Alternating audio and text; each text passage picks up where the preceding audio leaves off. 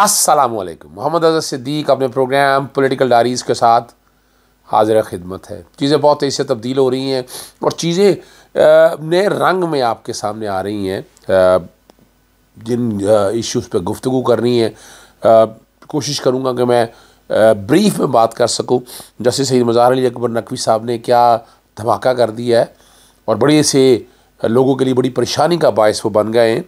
साफ़ी, एहतशाम अली अब्बासी जो इमरान खान से मिल के आया था और बोल न्यूज़ वालों की तरफ़ से क्या प्रेशर रहा उनके ऊपर। एफ़ आई ए की ये ज़रा ज़रूरी बात करनी है खालिद जमील साहब के लिए। एफ़ आई ए ने ऑर्डर जारी कर दिया है। एफ़ आई ए के खसूस अदालत ने, जिसमें उनको बरी कर दिया और ये मफरूज़ों पर बात थी सारी। आर्टिकल नाइनटीन की इन्फोर्समेंट की गई है। सबसे अहम बात है, इमरान रियाज जो है, वो सेहतयाबी की तरफ़ गामजन है और उन्होंने जो बातें की हैं, ज़रा उस पर भी गुफ्तु कर लेते हैं। इलेक्शन कमीशन इंट्रा का पार्टी अपील के ख़िलाफ़ जो मुतफ़रक दरखास्तें हैं, बड़ी तेज़ी से वो दरख्वास्तें मुकर कर दी गई हैं। और सूबाई इलेक्शन कमीशन आपको पता है कि जितने लोग हैं, वो पूरा बाकायदा नॉमिनेट कर दिया गया है। उनको और वो, उनको बाकायदा नोटिफाई कर दिया गया अगर लफ्स यूँ कहा जाए तो ज़्यादा बेहतर होगा। नवाज़ और शहबाज की मुलाकात का मकसद क्या है? तो आखिर में छोटी सी बात है, जमील असगर भट्टी सदर जो है, मकसद तरीके साफ़ लाहौर के दफ्तर खोला था और उसके बाद उसके घर पे क्या कुछ अटैक हुआ है, वो आखिर में थोड़ी सी डिस्कस कर लेंगे तो ज़्यादा मुनासब रहेगा। और सबसे पहले आपके सामने बुरी खबर ये है, वासिक यूम अबासी साहब जो हैं, उनको इस्लामाबाद से गिरफ़्तार कर लिया और नामालूम अफराद लेकर चले गए। बड़ा अच्छा रोल रहा था उनका, आपको याद होगा जब पंजाब असम्बली के सेशन में तो बहुत ज़बरदस्त तरीके से उन्होंने इन माफियाज़ का मुकाबला किया था। ये रिकॉर्ड पे कुछ चीज़ें हैं जो याद रहनी चाहिए, भूलनी नहीं चाहिए हमें। हमें समझ आ जाना चाहिए कि हालात और वाक़ात क्या हैं। मैं छोटी छोटी जो दो चीज़ें हैं, वो लाजमी ज़िक्र करके मैं फिर आगे की तरफ़ जाऊँगा। सबसे पहली तो बात है कि इस वक्त जो बड़ी ख़बर है, इलेक्शन मुलतवी कराने का फ़ैसला हो चुका है। आठ फरवरी को इलेक्शन नहीं हो रहे, मैं ख़बर दे रहा हूँ आपको। और ये बड़ी ख़बर दे रहा हूँ, क्योंकि इन लंदन में भी बात हो रही है शोई शुजात से जब बात हुई, मौलाना फजलरहमान भी ऑन बोर्ड है। इसमें तब, सब तमाम सब लोगों का आपस में और यानी बेस लॉ एंड ऑर्डर वो तो पहले ही ख़राब था। और मौसम बनाया जाएगा, ये पहले नहीं पता था।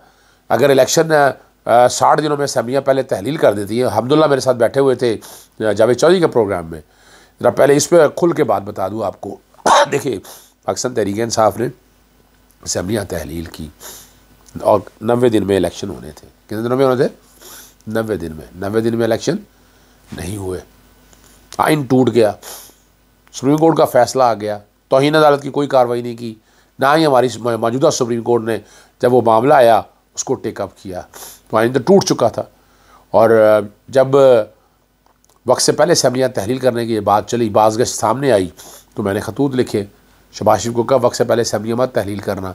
चाल ये थी उनकी कि इसको साठ सौ नब्बे दिन में ले जाया जाए, नब्बे को फिर आगे खींच के ले जाया जाए। तो अगर साठ दिनों में करते तो अब आज तक इलेक्शन हो चुके होते। जी छः नवंबर तक जो है ना, वो नब्बे दिन का टाइम था। छः नवंबर तक नब्बे दिन बनते हैं। अगर साठ दिन में करना होता तो आपने सितंबर में इलेक्शन या अक्टूबर में बेसिकली इलेक्शन, आपने अक्टूबर में बेसिकली इलेक्शन करवा देने थे। ना मौसम का झंझट आना था, ना लॉ एंड ऑर्डर का आना था। और बड़ी प्लानिंग के साथ ये सारी प्लानिंग की गई। तो इसमें पाकिस्तान तरीके इंसाफ अगर इमरान खान साहब का बहुत ज़बरदस्त फैसला था, वक्त से पहले असम्बलियाँ तहलील करने का। ये नहीं चलाया, निगरान हुकूमतें चल रही हैं, गैर कानूनी अहकाम पास कर रही हैं और ये मामला सारा एज इट इज़ आप देख रहे हैं, ये चल रहा है। और अगली जो बात है, इस साथ जोड़ी कि मुलाकात शबा शुजात से क्या हुई? वो टिकटों शिकटों का तो अपनी जगह मसला था, वो तो आपने फैसला कर लिया था, घर जाके मिलने का मकसद क्या था? घर जाने का मिलने का मकसद ये था कि वो पीडीएम के साथ जो भी इकट्ठी जमातें सारी थी, वो एक पेज पर दोबारा आ रही हैं।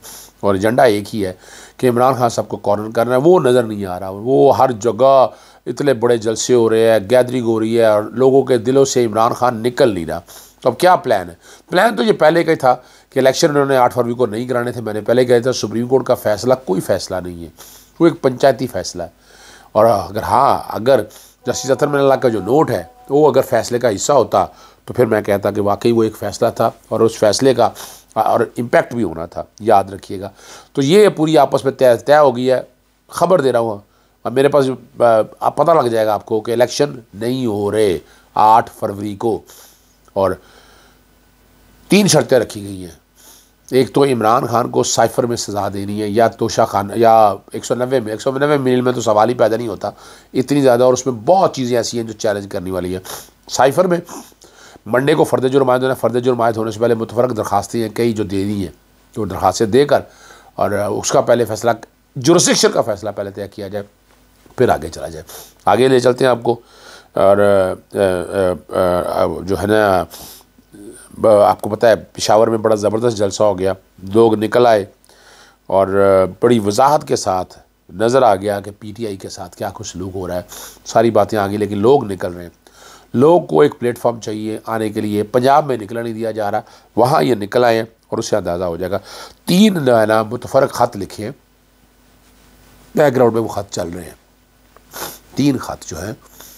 जनाब जस्टिस मज़हर अली अकबर नकवी ने ज़्यादती हो रही है ना। वो चाह रहे हैं, हम ख्याल, जजेज हमारी मर्ज़ी से करें, हमने वो सारा ताकि वो अपने तरीके से लेके चलाना और आपके आपके सामने मुताबिक है। आइन टूट रहा है, बुनियादी हकूक़ की पामाली हो रही है और हमारे यहाँ सुप्रीम कोर्ट और इस्लामाबाद हाई कोर्ट जो रवैया अख्तियार किए हुआ है, वो आप लोगों के सामने तीन ख़त लिखे हैं उन्होंने। एक तो लिखा हुआ है तीनों को लिखा है, जस्टिस काजी फाइजी साहब, जस्टिस और जस्टिस सरदार तारक बसूर जासर तीन, तीनों सीनियर पुलिस जजेज़ हैं, और कहा है कि उनकी जो दरखास्तें हैं आइनी दरखास्तें जो दायर की है, उसको समात के लिए मुकर किया जाए। और हैरान कन बात है कि supreme court practice and procedure तयशुदा वक्त गुजार जाने के बावजूद किसी भी दरखास्त को ना तो नंबर लिया गया, और राही अदालत के सामने मुकर करने का अमल में डाला गया। सेक्शन तीन और सात के तहत चौदह दिल के अंदर एक सौ चौरासी तीन दरखास्तों की समात के लिए करने की ज़िम्मेदारी सौंपी गई है। बीस नवंबर और तीस नवंबर को सुप्रीम काउंसिल में अपने खिलाफ कार्रवाई को चैलेंज करने वाली दो वाली दरखास्तें दायर की थी। अबूरी रिलीफ की भी दरखास्तें दायर की थी और खात्म मजीद कहा है कि आली दरखास्तों और अबूरी रिलीफ के लिए दरखास्तों के दायर किए जाने के बावजूद कौंसल मेरे खिलाफ कार्रवाई जारी रखी है। यह अमल सुप्रीम कोर्ट के सामने मेरी आली दरखास्तों को सगील तौर पर मुतासर कर रहा है। बदनीति पर बमनी बे, बेबुनियाद इल्ज़ाम पर। या मेरे हकूक़ पामाल हो रहे हैं आइनी दरखास्तों और बुरी रिलीफ की दरखास्तों के सबात के लिए तय करने में मजीद ताखिर मेरे लिए तासब शुदा होगी बाईस, मजीद अगर कार्रवाई के बिना कोई हुक्म सादर किया जाता है तो आइनी पटिशन मेरी सदा को मुतासर कर सकती है। मेरी आइनी दरखास्तें और मेरी तरफ़ से बुरी रिलीफ की दरखास्तें समात के लिए मुकर की जाएँ। जी जनाब जैसे मज़हर अली अकबर नकवी साहब ने कहा है, साथ साथ कोशिश की जा रही है लपेटने के लिए जस्टिस जाजुल असर साहब को भी। जस्टिस जाजुल असर सुलों पर खड़े होने वाला आदमी है। मैं उनको लाहौर हाई कोर्ट से जानता हूँ, लाहौर हाई कोर्ट में ही उनसे कई दफ़ा आप कह सकते हैं इख्तलाफात थे, लेकिन मैंने वक्त के साथ सीखा कि नहीं, वो बेहतरीन जज हैं। और अगर उन जैसा आदमी भी इन माफियाज के पीछे हट गया, जो पीछे लगे हुए उनको हटाया जाए तो फिर ये निज़ाम पे कोई कोई एतबार नहीं रहेगा। रब चुनता है लोगों को। और जस्टिस इजाज़त रसूल को इस मामले में पीछे नहीं हटना चाहिए और सामने रख कर ये बातें सारी जो है ना, ये ये ये बड़ी क्लैरिटी के साथ देखनी चाहिए। ये बहुत ज़रूरी है समझने के लिए। हाँ और मैं वो, एक बात जो है ना, मैं करना भूल गया वो बैकग्राउंड पे चल रहा है कि पहुँचे वहीं जहाँ खाक, पहुँचे वहीं खाक जहाँ का खमीर हो।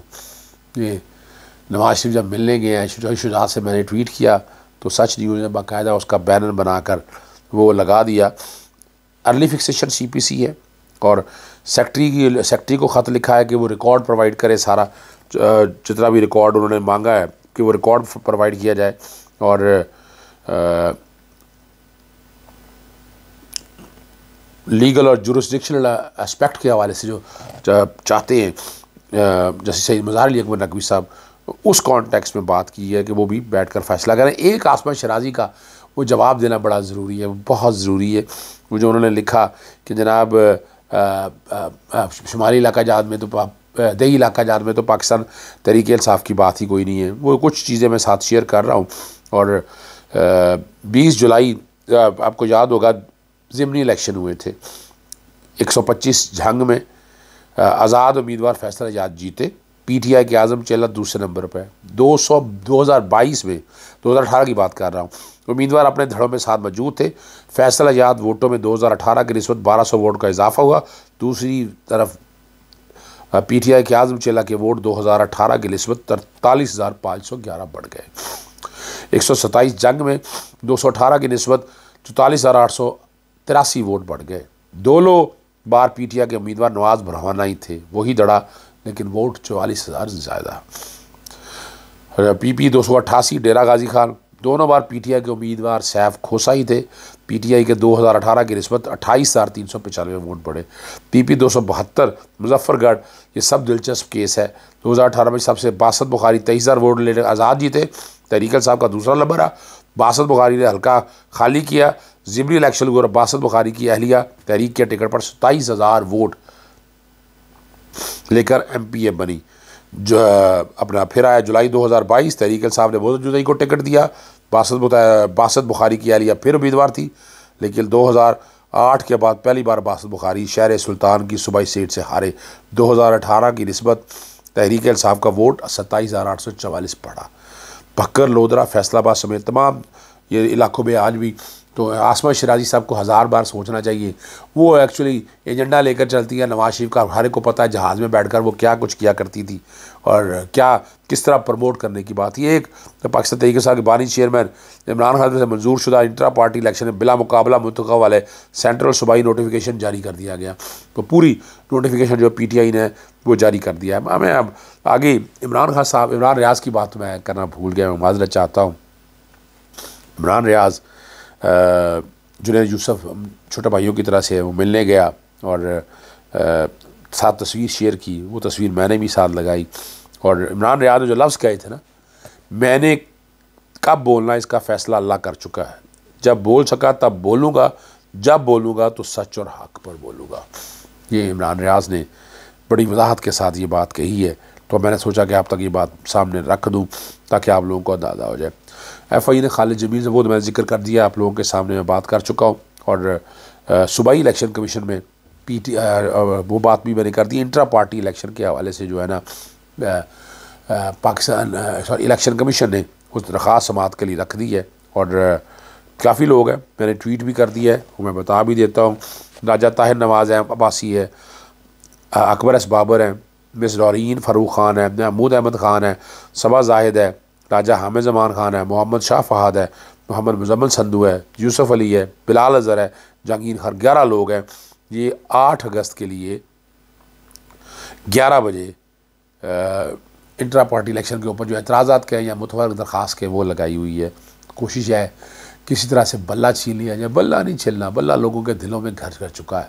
हाल इसका कुछ और है, कहीं बैठ कर बात की जाए जनरल एमनेस्टी की बात की जाए, मैं तो हमेशा यही बात करता रहता हूँ। इजाज़त चाहता हूँ।